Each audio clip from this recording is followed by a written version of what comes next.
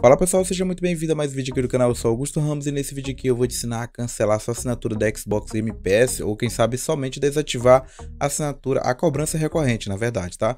Então eu vou te ensinar a fazer esse procedimento agora aqui, eu espero que você me acompanhe por completo e tire qualquer dúvida aqui nos comentários, só deixar seu comentário aí que eu vou te responder, ok? Vamos lá então.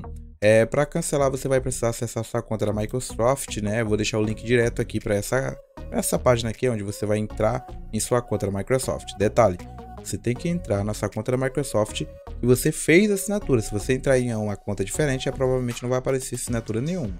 Porque tem muita gente que já cometeu esse erro no outro vídeo, então eu tô logo alertando aqui agora, tá bom? Enfim, a gente vai selecionar aqui entrar e vamos logar com a nossa conta do qual a gente quer cancelar ou desativar a cobrança recorrente.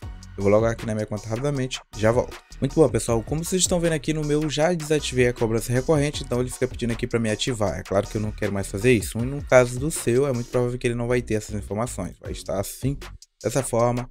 E aí você vai acessar né, a cobrança, né, a tarifação. Você vai vir aqui em serviço de assinatura. O meu tá mostrando dois desktops, isso aqui não tem nada a ver com essa assinatura. É porque tem minha conta, essa conta que eu tô cancelando a assinatura está em dois computadores, está no PC e está no notebook. Então, por isso está aparecendo aqui dois. Isso aqui não é, é irrelevante, pessoal.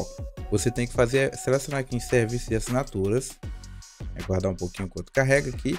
E agora a gente vai ver que eu tenho uma assinatura do Game Pass de computador. Só tenho ela aqui, eu vou selecionar aqui em gerenciar. Aqui a gente consegue ver quando vai expirar essa assinatura. A assinatura expira em 7 de maio de 2022, a sua é, obviamente vai estar diferente. E nessa opção aqui vai ter uma opção para você desativar a assinatura, a cobrança recorrente, se você não quiser mais que a tarifação seja automática. Então você pode desativar. No caso, quando você não, não pagar, mas você vai perder acesso ao serviço, tá? Não pagou, perde acesso ao serviço. Aí se você quer deixar para pagar só quando você tiver dinheiro, então você deixa desativado. Quando você tiver dinheiro para pagar ou quiser pagar, esse mês eu não quero pagar, vou pagar só no outro mês. Então no outro mês você vem e ativa aqui, ele vai tarifar no mesmo momento. vou mostrar aqui para vocês, ó. Selecionar aqui ativar, aí ele vai pedir para mim habilitar, para ativar ao mesmo tempo, ó. Plano atual mensal 29,99.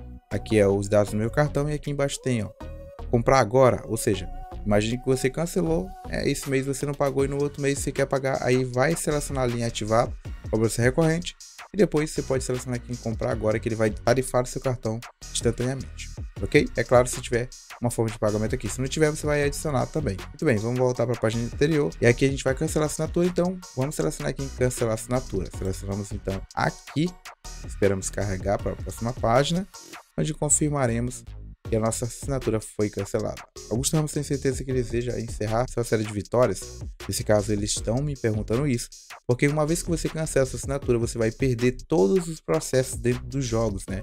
Você tem aí salvo. Então, se você realmente não quer cancelar porque você não quer perder os seus processos, apenas apertou aí financeiramente, você nesse caso precisa só desativar a cobrança recorrente.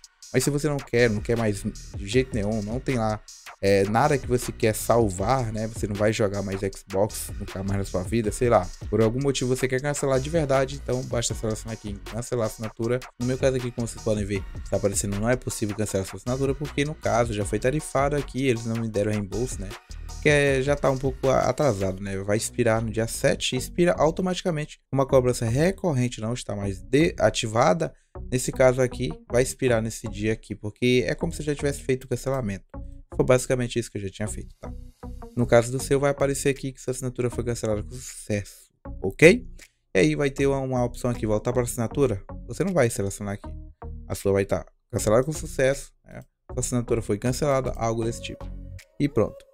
Você pode deixar aí, se um dia você quiser reativar, basta voltar para a assinatura é, e ativar a cobrança recorrente aí, se você, é claro, não cancelou, né?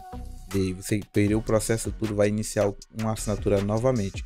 Ou seja, o processo dentro do jogo vai novamente ser recriado, né? Como você nunca tivesse assinado. Embora sua conta da Microsoft ainda vai existir, porém a sua assinatura não vai existir. Se você fez o cancelamento da assinatura, no caso, se você só desativou a cobrança recorrente, todos os seus processos vão ficar salvos. Espero que vocês tenham entendido.